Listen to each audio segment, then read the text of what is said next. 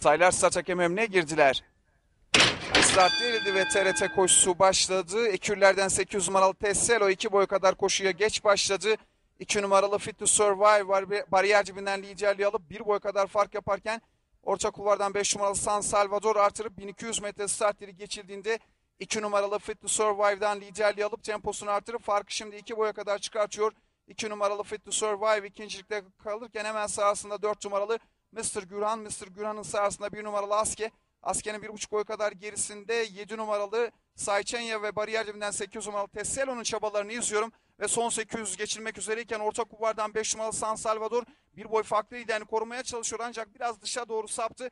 İç kulvardan müsait bir yol bulan 2 numaralı Fit to Survive liderliği alıp farkı 1,5 boya kadar çıkartırken 4 numaralı Mr. Gürhan ikinciliği hemen sahasına da 8 numaralı Tesselo sokuluyorlar. Bunların da bir boy kadar gerilerinde 1 numaralı Aske sırasıyla son 600'ü 2 boy kadar 2 numaralı Fit to Survive lider geçiyor ve son viraj dönüyor.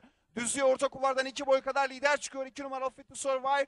Bariyer dibinden 8 numaralı evet Tesselo'nun çabalarını izliyorum. Gerilerden 4 numaralı Mr. Gürhan'ın da gayretleri var. Son 200'e doğru geliyoruz. Bariyer dibinden 8 numaralı Tesselo yükleniyor. 2 numaralı Fit to Survive'ı yakalama uğraşları içerisinde iki tay tek tay gibi oldular. İçeriden Tesselo geliyor. Fit to Survive'la başa baş oluyor koşunun. Son metreleri TRT koşusunu 2 numaralı. Fit to Survive kazanıyor. 8 numaralı Tesselo ikinci oldu. Koşunun üçüncüsü 6 numaralı top